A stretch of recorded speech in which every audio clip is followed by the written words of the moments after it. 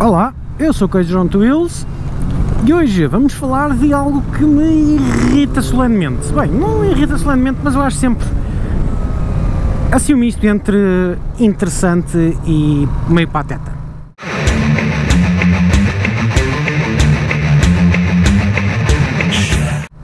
Então é o seguinte, a volta e meia nos, nos fóruns do Facebook, nos grupos do Facebook, aparece alguém que mete uma fatura de uma revisão e diz é pá, olha o que é que paguei, estes gajos são os gandachulos. Ou então paga só a dizer, é isto é normal, e há sempre alguém que diz, ah, isso são os gajos são os gandachulos, fartaste que está dinheiro para nada. E isso irrita-me algo. Porquê?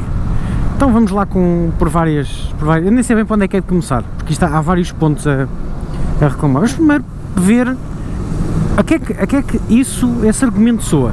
Esse argumento soa ao gajo que vai ao restaurante, pede uma costeleta de vitela e depois de comer, hum, vira-se para o, para o chefe ou para o que for e diga assim: é pá, isto aqui não são 10 euros, 10 euros é um quilo de, de carne. Eu não, como, não comi um quilo, isto tinha pai 300 gramas, portanto eu só vou pagar 3 euros. É literalmente isto que vocês estão a dizer, não faz muito sentido, pois não. Então pronto, 3 não 4, porque mais as batatas e não sei o quê. E depois então também está a cobrar os aperitivos, que é a tal cena dos desperdícios. Então você está-me a cobrar os aperitivos, isso não lhe custa nada, homem. Um saco desta coisa custa-lhe 2 ou 3 euros e por aí fora. Então, porquê é que isto é parvo? É parvo, não é? Assim, de repente, dito assim, parece muito parvo, e é, é muito parvo. Então vou explicar porquê. Porque a oficina é um negócio, eles estão ali para fazer dinheiro, não são a Santa Casa da Misericórdia. Além disso, regra geral deste tipo de oficinas, principalmente as de motos, as margens de lucro deles não são assim tão grandes quanto parecem. Em algumas coisas é bastante elevada a margem de lucro. Sim, um, o óleo que eles cobram é quase ao dobro do valor habitual, mas isso é normal em retalho. Tudo o que vocês compram em retalho custa metade a quem, a quem o está a vender, porque é assim que se faz algum lucro. Sempre dobra-se o preço e vende sempre ao dobro do preço.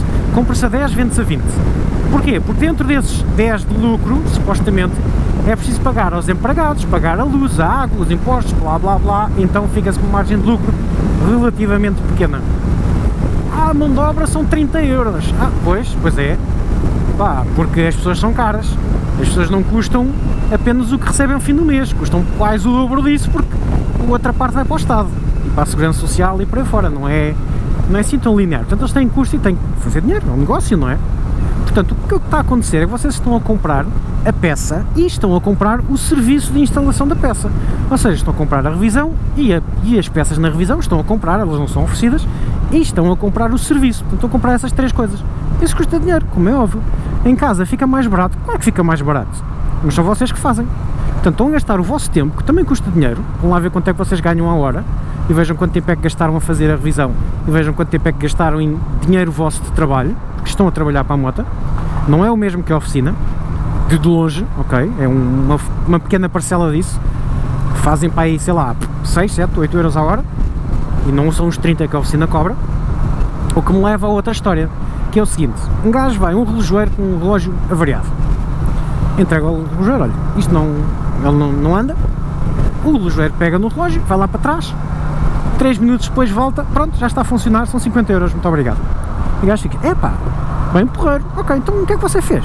Ele diz, ah, eu peguei aqui neste martelinho e dei-lhe uma pancadinha aí num sítio específico ele fica bom. E o homem fica logo todo ofendido. O quê? Você só fez isso? Sim. Então eu vou pagar 50 euros para vocês ir ali 3 minutos, dar uma, uma martelada pequenina no, no relógio e, e entregar-me o relógio? Que é? Está a gozar comigo? Não. Ao que ele responde, pois, para... Oi, desculpem lá. Uh, não, vou na próxima. Ao que ele responde, pois, para dar a marteladinha é fácil, mas eu demorei 30 anos para saber onde dar a marteladinha. E é isso que vocês estão a pagar. No caso das oficinas de marca, vocês estão a pagar não só isso, como estão a pagar a garantia de que o serviço é bem feito, porque se não estiver bem feito vão lá reclamar, ok? E se for uma oficina minimamente séria, o que felizmente no caso das motas, regra já é verdade, são sérios, porque normalmente também são entusiastas de motas e por aí fora, uh, eles assumem, ok, ah, fizemos isto mal, fizemos aquilo mal, vamos arranjar, não há stress. Nas cenas dos carros nem sempre é assim, infelizmente, mas regra geral então, têm essa garantia de que o serviço fica bem feito, que não vai haver acidentes pelo caminho. Imaginem que vocês estão a fazer revisão em vossa casa e a revisão diz que é preciso mudar o líquido dos travões, está aqui. Este líquido é extremamente corrosivo e perigoso, tóxico, ok? Portanto, vocês estão a fazer isto, epá, e por descuido, epá, enganam-se e escorre um bocadinho daqui para cima da, da tinta do, para aqui para cima do depósito e come a pintura toda do depósito. Se for vocês a fazerem em casa estão lixados, pronto, tenho o depósito de uma mancha, olha, paciência. Se for na oficina, aquilo que vai acontecer é que a oficina vai-vos ligar a dizer epá, tivemos aqui um problema na revisão, hum, houve aqui um, um, acidente, uma situação com a sua viatura, uh, nós vamos ter que substituir uma peça uh, porque a danificámos uh, inadvertidamente. E pronto, acabou. Se tiverem muito azar, epá, vão com a moto assim, eles dizem pá, passa aqui amanhã que já temos a peça e a gente troca isso na altura. E acabou. É isto que também estão a pagar. Percebem? Epá, estas coisas todas vão acumulando, de maneira que eles não, eles cobram o que cobram porque têm que cobrar, porque senão não fazem dinheiro. E o objetivo deles é fazer dinheiro. E eles não são uma, uma instituição sem fins lucrativos. O que é que uma oficina quer fazer dinheiro e empilhar dinheiro até ao teto? Porque volta e meia a oficina tem que comprar novas, novas máquinas, pagar a formação dos, uh, dos novos funcionários, funcionários saem, entram novos, é preciso passar, pagar a formação a esses, fazer uma renovação de vez em quando, investir numa coisa qualquer, podem estar mesmo de propósito a tentar juntar mais dinheiro para investir num, menos instalações melhores, etc, etc, etc, etc, etc. E porque é um negócio, o negócio é para fazer dinheiro, por isso é que é mais caro. É normal, por isso é que as coisas numa loja são mais caras. É pá, mesmo assim. Querem fazer em casa? Ótimo. Não tem algumas garantias. Ah, mas eu sou mecânico, eu sei o que estou a fazer. Pá, brilhante, ótimo. Pá, poupas dinheiro, espetáculo. Quem não é, ou quem quer ter a garantia de que as coisas ficam mesmo bem feitas, sem stress, sem solavancos, sem parafusos moídos e coisas assim, vai à oficina, que é o que eu faço. Porque eu se tentar fazer uma revisão da minha moto, acabo com parafusos uh, a mais. E como não me está a apetecer fazer isso, isto é roda aventuras agora, como não está a apetecer fazer isso, eu vou à marca para ter a certeza que a minha menina é bem tratada e mesmo, mesmo bem tratada e que nada que eu faça a vai estragar pelo caminho. Portanto, é daí, a cena das, das faturas, é pá, é isso, é caro. Ah, e outra coisa, a cena de, é pá, mas os gajos me dizem que demoraram 3 horas a fazer revisão. Pois, certo. Eu em casa faço isso em meia hora. Sim, faz em casa em meia Primeiro não fazes. Tu estás a contar meia hora desde que começas a desaparafusar coisas, não estás a contar meia hora desde que metes lá a moto, começas a ir buscar as ferramentas e por aí fora. Mas pronto.